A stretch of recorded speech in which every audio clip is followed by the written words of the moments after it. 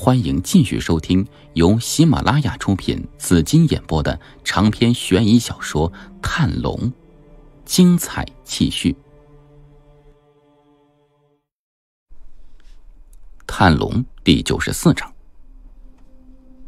金玉龙和萧冷秋怎么会被绑起来呢？这事儿啊，还和贺林池有关。当时杨子被郭山峰一掌打得昏死过去，苗凤凰救走杨子。贺连池仍旧不死心，在后面紧追不舍，而金玉龙和萧冷秋就跟在贺连池身后，一直到了这里。到了这里之后，贺连池忽然停了下来，在附近来回的晃悠，好像发现了什么。他们当然不知道，贺连池是追踪好手，他追着那豹子的痕迹就到了前面，豹子的痕迹忽然失踪了，换成两人的脚印。可到了这里之后，脚印也分开了。贺连池不知道两人在前面掉了下来，而且杨子毒性发作跑了。苗凤凰则没追上，追了一会儿看不见杨子，自然是走岔了。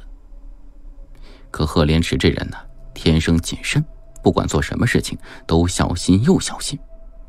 所以这情况一反常，他倒怀疑有问题了，就在这附近一边转悠一边分析。只可将小哥俩给害苦了。小哥俩一见贺连池不走了，也就纷纷找个大树藏了起来。可他们万万没有想到啊，这里的树和前面的树是不一样的。这里的树枝杈竟然会动，而且动作极其轻微，轻微到人根本就没法发觉。两人注意力又都在贺连池身上，在树旁藏的时间一久，等贺连池走了，再想起身追赶时。那些树枝忽然发力，一下将两人给缠起来了。两人手脚全被拉开，身体直接提离了地，乍看起来就像是被绑在大树之上。那树枝还极其坚韧，两人硬是挣脱不了，只能大眼翻小眼，在这里等死了。更离奇的是啊，那两棵大树的树身之上，在两人被绑住之后，慢慢裂开一道缝隙。就像是一张竖着的大嘴一般，开始一点一点的将两人往里面吞噬。其实，在这之前，两人已经不抱还活着的希望了。也是事有凑巧，不一会儿，那满江河追着苗凤凰就过来了。接下来，小哥俩就听到这两人的对话。金玉龙这脾气哪忍得住啊，直接开口骂上了。萧冷秋一琢磨，反正被困在这里，也只有等死的份儿。与其窝窝囊囊死在这里，还不如临死之前救一个人，也就跟着说上几句。他们这一唱一和的，可将满江河气得不轻啊。这满江河又是谁呢？怎么会出现在这里呢？满江河确实是六门中人，他父亲是天隐一门的门主满云天，而老苗山这次能够出山，也是应了满云天之约。前来争夺无字天书和六芒神珠的。这个时候，外面的六门中人已经传疯了，都传说杨子回归杨家坪，当年杨其修藏起来的无字天书和六芒神珠再现，六门已经平静了几十年。这个消息一出，无异于一颗重磅炸弹，奇人异士纷纷赶赴杨家坪，都想来分得一杯羹，就算没什么想法的，也想来看看热闹。在这种情况之下，单打独斗是很不明智的，所以纷纷开始拉帮结派。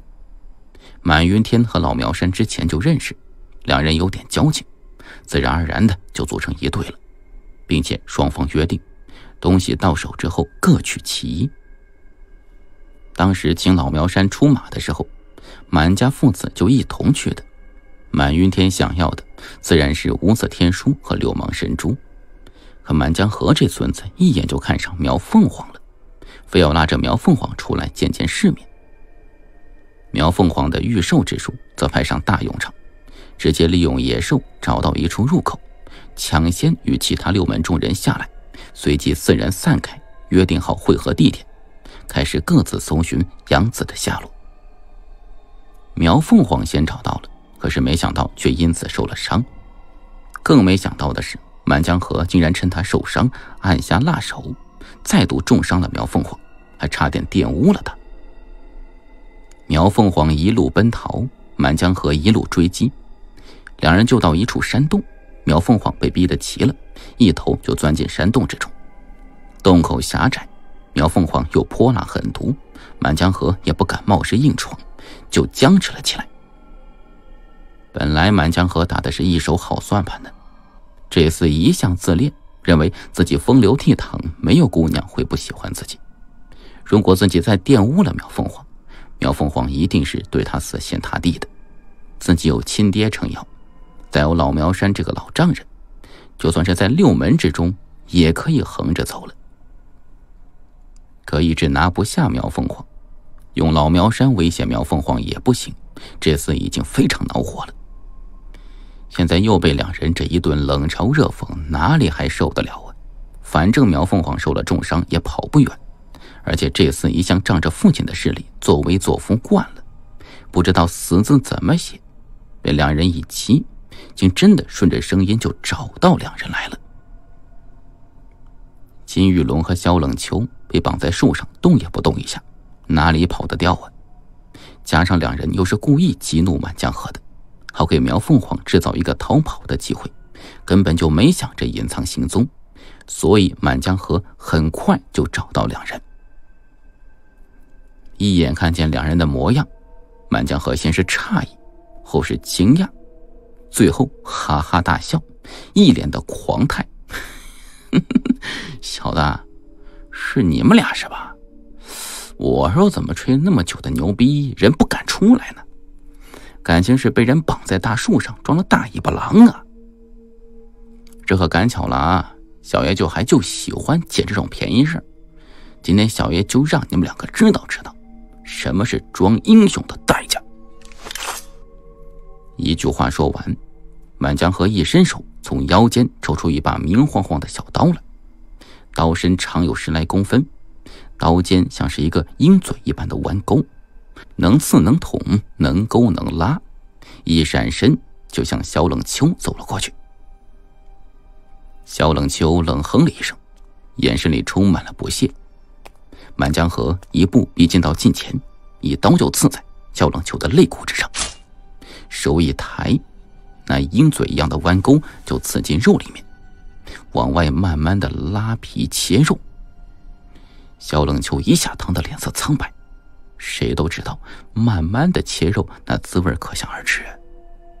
可肖冷秋连吭都不吭一声，反倒冷冷的来了一句：“我不死。”你就死！满江河嘿嘿一乐，将刀子抽了出来，正想再来一刀，金玉龙在旁边则大笑了起来：“孙子，你那小刀片吓唬谁呢？啊，来试试是龙眼的骨头硬，还是你的刀片锋利？”您刚才听到的是。由喜马拉雅出品、紫金演播的长篇悬疑小说《探龙》，下集更精彩。